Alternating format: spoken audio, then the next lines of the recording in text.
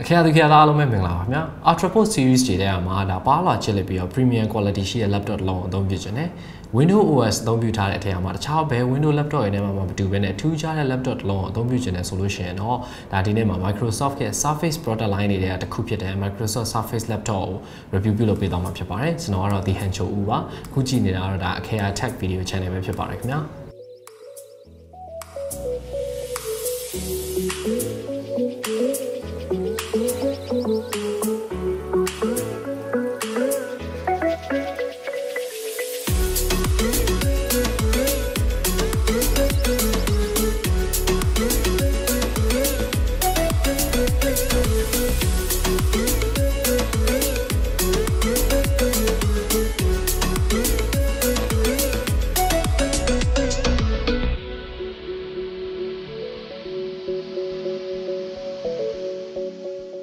မေလမှာကျင်းပခဲ့တဲ့ Microsoft ရဲ့ Education Event မှာဆိုလို့ရှိရင်ဒါ Windows 10s နဲ့အတူမိတ်ဆက်ပေးသွားတဲ့ Surface Laptop ကဇွန်လ15ရက်နေ့မှာဈေးကွက်ထဲကိုစပြီးဝင်လာပါတယ်။အဲ Surface Book နဲ့ Surface Pro လိုမျိုးဒါ 2 in 1 tablet ကနေ laptop ကိုပြောင်းလဲနိုင်တဲ့ convertible tablet အမျိုးအစားမျိုးမဟုတ်တော့ဘဲနဲ့ဒါ business သမားတွေနဲ့ဒါ student တွေအတွက်ကို target ထားပြီးတော့ထုတ်လုပ်ထားပြီးတော့ဒါ14.8 mm နဲ့ဒါတလက်မရဲ့တဝက်ပဲရှိတဲ့ပါးလွာကျစ်လက်တဲ့ laptop တစ်လုံးဖြစ်ပါတယ်။ Intel ရဲ့7 generation Kaby Lake processor ကိုအသုံးပြုထားပြီးတော့ base model ဟာဆိုလို့ရှိရင် i5 CPU 4GB RAM 128 solid state HD ပါတဲ့ဆိုလို့ရှိရင်တော့ဒါ US ဒေါ်လာ1000ကျတဲ့မှာဖြစ်ပါတယ်အဲ Intel HD graphic ကိုပဲသုံးထားတာဖြစ်ပြီးတော့ i7 model မှာဆိုလို့ရှိရင် Intel Iris Pro graphic ကပါဝင်လာပြီးတော့ဈေးနှုန်းကတော့ US ဒေါ်လာ1600အထိမြင့်တက်သွားတာဖြစ်ပါတယ်အဲ specs တွေကိုဒါအဆုံးထိတိုးမြင့်ပြီးတော့ဝယ်မယ်ဆိုလို့ရှိရင်တော့ US ဒေါ်လာ2900အထိဖြစ်သွားပြီးတော့ဒါ solid state 1 TB တွေထည့်သွင်းနိုင်ပြီးတော့ RAM ကလည်း 16GB i7 CPU model อ่ะဆိုလို့ရှိရင်တော့ဒါတိတ်ပြီးတော့ဒါပေးရတဲ့ဈေးနဲ့မတန်တဲ့အတွက်2000ကျော် US ဒေါ်လာ2000ကျော်သုံးမယ်ဆိုလို့ရှိရင်တော့ဒါတခြား product တွေကို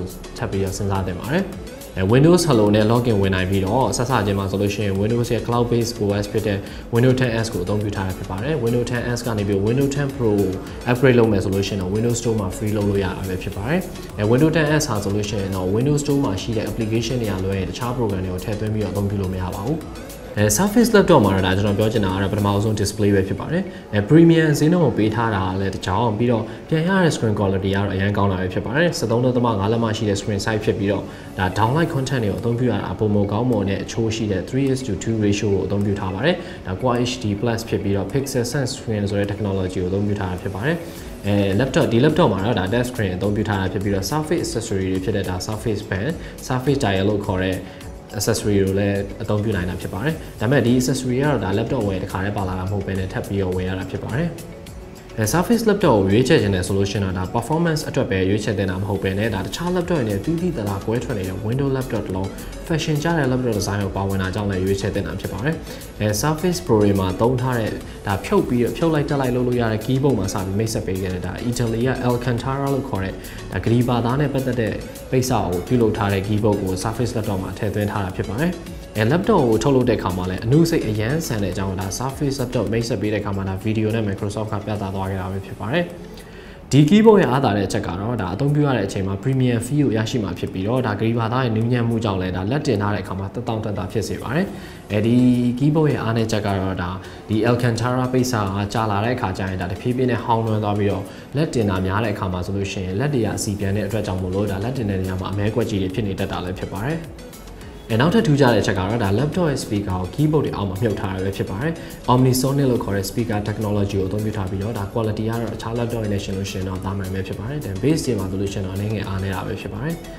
အဲ performance အနေနဲ့ပြောရမယ်ဆိုလို့ရှိရင် base model ဖြစ်တဲ့ 4GB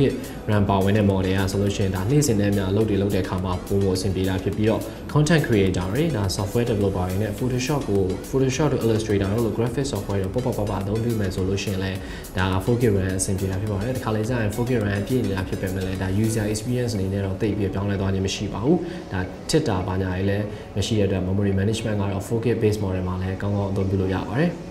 အဲ video editing သမားတွေနဲ့ heavy graphic user တွေအတွက်ဆိုလို့ရှိရင်တော့ဒါ 8GB နဲ့ 16GB ပါဝင်တဲ့ model တွေကိုပြောင်းလဲပြီးအသုံးပြုသင့်ပါတယ်